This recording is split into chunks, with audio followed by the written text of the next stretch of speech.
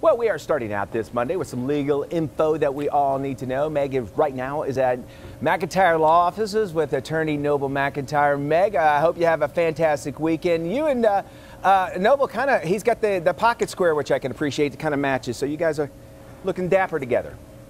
You're nice. Yes, he's doing the. he's got very cool pocket square, I must say. Uh, it's McIntyre Law Monday, as as you all know, and today we are going to be talking about the duck boat incident, a tragedy, Noble, well, obviously. tough, tough deal. We all saw it on the news. 17 people have died. There's two still in critical condition at the hospital. They may die as well. So it, it's it's a very very tragic deal that led to a tremendous amount of loss of life, including nine in one family. Um, and the issues here, what people are talking about most when you read about it online, is the liability issue because the company that owns the boat duck company has said that the storm came out of nowhere. They did not know that it was coming. There was no way for them to foresee it. And if that were the case, is there liability there? And so you just have to look at the facts. And what the truth of the matter is, is that there was a warning six hours before the storm rolled in uh, that said the storm was coming everybody has an iPhone nowadays. You can look on the radar and see that it's coming. And so you have those issues. In addition to the company itself knew that these boats did not perform well in heavy weather. And so the survivors have said that typically you go into the water in the second half of the tour. They went into the water in the first half of the tour for one reason because the storm was coming and they wanted to get that part out of the way. And so, this company that made the decision to take these folks out into the water, uh, you also have some talk about there were life jackets on board, but they were told they weren't going to need them.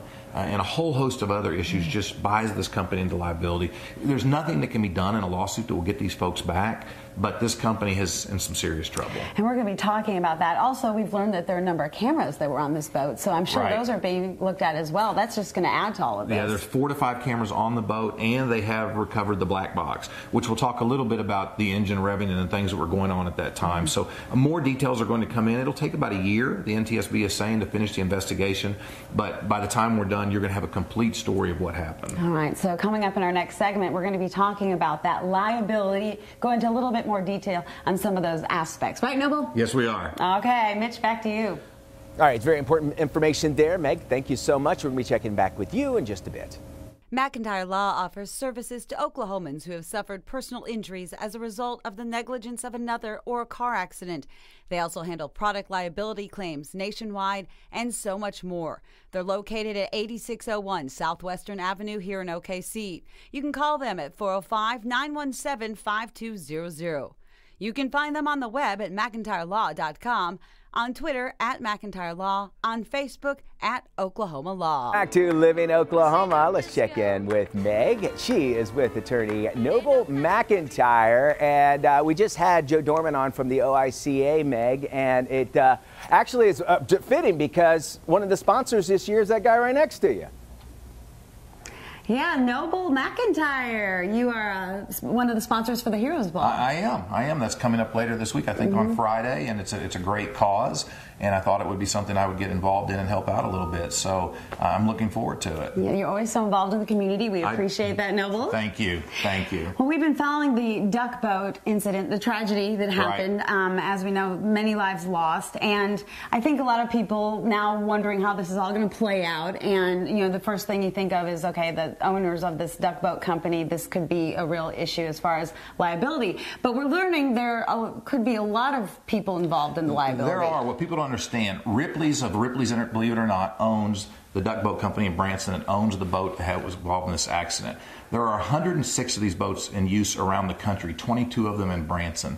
The 22 in Branson were manufactured by a company called Ride Duck Boats International. And what they did was they took these old military vehicles and they retrofitted them for use for the duck boat industry. So they're from like World War II? They're World War II troop transports. Yeah, uh -huh. Well, the NTSB, which regulates, National Traffic Safety Board regulates, came out in 99 and told them you need to retrofit these because the canopy is a death trap. When and they that fill was in up, 1999. 1999. When they fill up with water, if you have a life jacket on or even if you're inside, it forces you to the top and it's hard to get out. And this company has been aware of this for quite some time. And so the company has continued to seek uh, variations from the law and has continued to develop these boats and put them into the marketplace. Well, now here's exactly what happened. You're going to find that people were trapped against that canopy, which was a known design defect that they were warned about many, many years ago mm-hmm. that they took no steps to fix.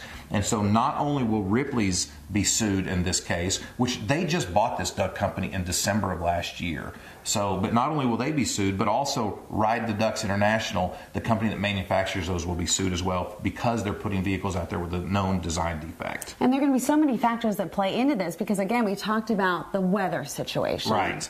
They, they knew the weather was coming in. The boats do not do well out there when there's a lot of waves. In this case, if you've seen the videos, there were four and five foot waves that were hitting the side of the side of the boat you know, vehicle boat, whatever you want to call it. And then there's other issues involved. The people that were in the boat may have had uninsured motorists on their own personal cars. So then the question becomes, well, if you use all the insurance, can somebody use UM from their car since this was technically a car when it was on the road, but it was a boat when it was on the water? Oh. And do you have car laws or do you have maritime laws since it was a boat case? And so there'll be many, many issues you have to go through when this litigation gets filed, and there'll be more than one defendant. Oh my gosh. I mean, I know it's going to be very interesting. And again, it's just so tragic. I mean, you can't, no matter what happens here, right. you can't bring those people no, back. You, you can't. It's, it's, just, it's just a horrible deal all the way around. All right, we're going to continue talking about this in our next segment on McIntyre Law Monday. McIntyre Law offers services to Oklahomans who have suffered personal injuries as a result of the negligence of another or a car accident. They also handle product liability claims nationwide and so much more. They're located at 8601 Southwestern Avenue here in OKC. You can call them at 405 917 5200. You can find them on the web at McIntyreLaw.com, on Twitter at McIntyre Law, on Facebook at Oklahoma Law. Again with Meg. She's with attorney Noble McIntyre. Meg. Hi, Mitch, and we do continue McIntyre Law Monday. We've been talking about that duck boat tragedy in Branson, and what we're learning is there's the company right. uh, Ride the Ducks International. International. They actually take these old World War II uh, vehicles and they repurpose them right. for this transport of tourists and such. And there's some design defects, and we're there, learning about that. There are. You know, a lot of people are looking at this case thinking just the company that owned the duck boats in Branson is going to be on the hook for the liability. Which is Ripley's. Which is Ripley's of Ripley's, believe it or not. Right, right. But there's more to it. Yeah, Ride the Ducks International is the company that takes these old military vehicles that are now surplus and they repurpose them for use in this industry, of which there are 106 of them around the country. This is the fourth fatality for this company, fourth fatality accident for this company, just in the last six to seven years. And in 2015, the government fined them $1 million for an accident that killed five people in Seattle and they did a full study and they found that of the 106 boats that had been manufactured and repurposed by this company 105 of them were not in compliance with the federal safety traffic rules. Okay so how are they how are they still out there? Well they paid their fine and then what they did is they have either fixed some of them but for most of them they have actually sought waivers from the rules that were required by the NTSB they've gone to the Trump administration in this case previously the Obama administration and they've said look we need more time. Will you give us some waivers? And specifically some of the defects are the can canopy, which we talked about, mm-hmm. which can be a death trap. Well, the company doesn't want to remove the canopy because that's what provides shade on hot days, and they feel like their business would go down if people were sitting and baking in the hot sun. And so they have sought waivers that have said we do not want to remove these canopies. Yes, we understand the NTSB is saying they're a death trap and they're very dangerous, but we think that we can work around them. And so they just pushed the ball out a while. And so what's happened is now we've had another fatality, and in this case, 17 people. Well, and there are other things too. We talked about the windows. The windows in most of these are sealed. In this case, if you've seen the videos, the windows are up. Uh-huh. And so what happens is then when the water starts to come in, the people can't get the windows down in time to get out. And then the life jackets, which are stored above you, all of these boat captains are being told to tell people, look, you're not going to need them. You're not mm-hmm. going to need They're them. They're here, but They're you're here, not going to need them. And there are some experts that say that even if you have put them on, that's even more dangerous. Mm-hmm. It's the reason on an airplane when they say, you know, don't inflate your life vest until you're outside the airplane if we go down in the water. It's because if it's inflated and you get pushed up to the ceiling, now you're having to swim against the buoyancy of the life jacket to get down three or four feet to get out the window. And so it's it's a tough, tough design defect for which this company is well aware. And you'd also talked about where the driver is seated. is, is about six to eight feet below the bow of the front end of the vehicle. And so it's difficult for the driver to see a lot of things, which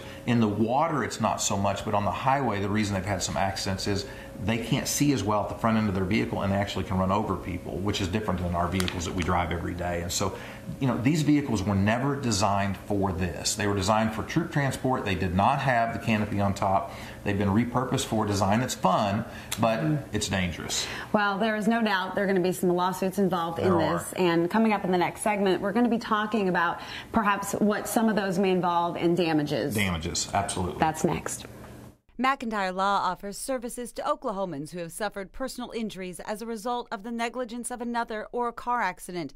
They also handle product liability claims nationwide and so much more. They're located at 8601 Southwestern Avenue here in OKC.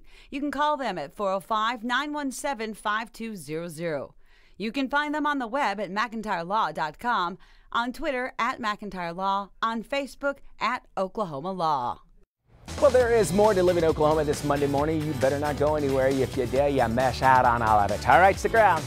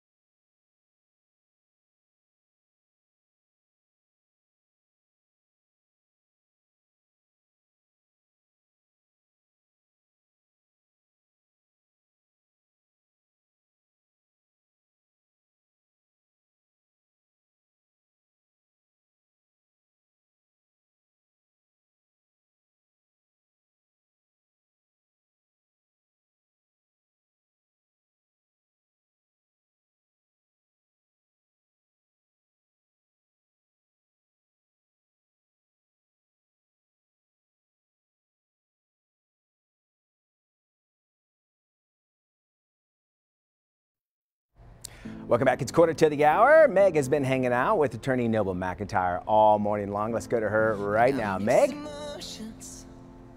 Hey, Mitch. It's McIntyre Law Monday. We've been following the duck boat tragedy, the legal ramifications, and 17 lives lost right. here now we're talking about the damage part of this, and this this is that's a you know a hard one because you know, it, how it do you is. put any amount on a life? Well, you know, first of all, anytime somebody hires me, mm-hmm. it's all I've ever done my entire 25 year career is represent people who've been injured or the families of folks that have been killed in an accident, and you're you're often asking, well, is there enough money out there? Is there enough insurance to cover this? And in this case, you have 17 mm-hmm. fatalities, and don't forget, you have two people still in the hospital with critical condition that may live or may die. And so, is there enough insurance? And if there is, what are the amount of damages that you could be expecting in this type of case? And the easiest answer is everybody's different. Not all of these cases are worth exactly the same, even though 17 people have died. And the reason is, is that under the elements of damage, some people have economic loss, which have lost wages and things like that if they're working. Well, a one year old that died doesn't have that, and the retired folks that died don't have that. So, right there, you have a hmm. difference in the amount of damages. Then you have life expectancy. It's sad to say, but an 80 year old person under the life expectancy charts is not worth the same as a 15 year old because the 15 year old was going to live much, much longer, at least on the government guidelines, than somebody who's already 80. And so when a jury or when a settlement is taking place, those things get looked at as well. And so mm-hmm. you've got the economic side of it, and then you have the non economic side of it, which is just what's a life worth? You know, I mean, what, what do you give for somebody that's died and for their family member and the grief that the family's gone through? And then after you do all of that, if there's enough insurance, and there probably is in this case because Ripley's is a large company and you're going to bring, bring in Ride Ducks International, but are there any damages that aren't covered by insurance? Punitive damages, which are not covered by insurance. Well, when would punitive damages come into play? Well, if a company does something that is foreseeable or reckless and they do it anyway and put somebody at risk or danger and an accident happens and somebody gets killed, then you've got punitive damages that a jury can award. And punitive damages typically aren't covered by insurance. Mm-hmm. So now that comes out of the company coffers the money. And that's where the big money comes from. In fact, if you've been watching the news lately, you saw that in St. Louis last week you had this big talcum powder verdict where Mark Lanier, who's a good friend of mine, a lawyer down in Houston, he got $500 million for 22 mm-hmm. women that had cancer mm-hmm. from talcum powder, mm-hmm. but then the jury gave a $4 billion punitive award. Well, in this case, you could conceivably have a million dollar verdict for the one year old, but then a $10 million punitive on top of that. So the amount of damages these companies are looking at when you add in the punitives are going to be astronomical. Oh my gosh. And of course, we have this one woman who lost nine families. Nine members. families, three children of her own, and her husband. So think about that. She's now going home to a quiet house mm-hmm. for the rest of her life. And so she's lost her three kids. But then beyond that, multiple other family members, nine family members from one family. I mean, it's just it's just unconscionable. So, question, I, and I don't know if they sign the waiver before right. they get on this. How does that hold up in something like this? Well, in something like this, I mean, there's clearly the waivers do come into play if a company's doing everything right, mm-hmm. but a one year old can't sign a waiver, and there's arguments in laws that a parent can't sign away the rights of their minor children, which is why I have successfully had cases where a parent signed a waiver for a minor, and we were able to get around that because the minor didn't sign it, and a parent can't sign away the rights of somebody else. So there may be some battles about the waivers, but if these companies are smart, they're not going to fight that too hard because if they lose that battle, which they probably will, the jury's going to hear about that somehow, and that's going to make the punitive aspect even larger. So that will certainly be something that has to be battled in court. I don't think it's going to come out on the sides of the company. I think at the end of the day, there's going to be some very, very large settlements or some verdicts that are very, very large. Unfortunately, it's not going to bring anybody back. Mm, no. Well, I know the news will be following this, right. and uh, you'll keep us posted as well on the legal side. We appreciate it. You're very welcome. On this McIntyre Law Monday. McIntyre Law offers services to Oklahomans who have suffered personal injuries as a result of the negligence of another or a car accident. They also handle product liability claims nationwide and so much more. They're located at 8601 Southwestern Avenue here in OKC. You can call them at 405 917 5200. You can find them on the web at McIntyreLaw.com, on Twitter at McIntyre Law, on Facebook at Oklahoma Law. Tyre, what you got going on, Meggers?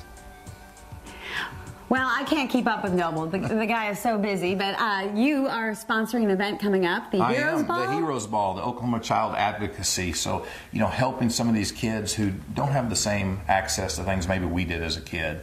And so it's a big event they do every year. It's going to be this Friday at the Skirvin, and I'm an awards level sponsor. I think that's the ten thousand yeah. dollar level. I'm not oh, sure. yeah. But it's it's you know it's another great cause. It's like the it's like the turkey thing we do every yeah. year. It's it's giving back to the community and trying to do something you know, just to bring and make others better. And so it's just it's something I'm looking forward to. And we just had Joe Dorman on the show today, so that okay, fits great. perfectly great. with yeah, that. There you go. Um, also, it's hard to you know because it's been so hot, but football season's right around the Football's corner. Football's coming around the corner, and I, you know I'm a huge Oklahoma fan. I'm sponsoring the entire first game, and so I'll have I'll be interviewed at halftime. I'll be down on the field, but it's just my way to get back to the University of Oklahoma, which is where I went to law school. And so I think Lincoln Riley's going to have a great year. I'm going to miss Baker Mayfield, but uh, I think that we're going to have a very good season season. Of course, I go into every year thinking Oklahoma's going to win the whole thing. You're an ultimate optimist. I, I, I love I that about you. Well, we've had a great time on our McIntyre Law Monday. Thank you, Noble. Appreciate Thank you. it. Thank you. Mitch, let's head back to you in studio. All righty. I'm still looking forward to Noble hanging out with you at one of those games. All right. Uh, again. McIntyre Law offers services to Oklahomans who have suffered personal injuries as a result of the negligence of another or a car accident. They also handle product liability claims nationwide and so much more. They're located at 8601 Southwestern Avenue here in OKC. You can call them at 405 917 5200. You can find them on the web at McIntyreLaw.com, on Twitter at McIntyreLaw, on Facebook at Oklahoma Law.